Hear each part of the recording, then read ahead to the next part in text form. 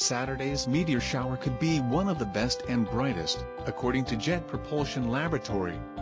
April 21's new moon guarantees a dark sky during the late night and early morning hours, making this year's Lyrids ideal for seeing shooting stars, the space agency posted on its Facebook page. Lyrid meteors often produce luminous dust trains that can be observed for several seconds. They originate originate from a comet and appear to come from constellation Lyra.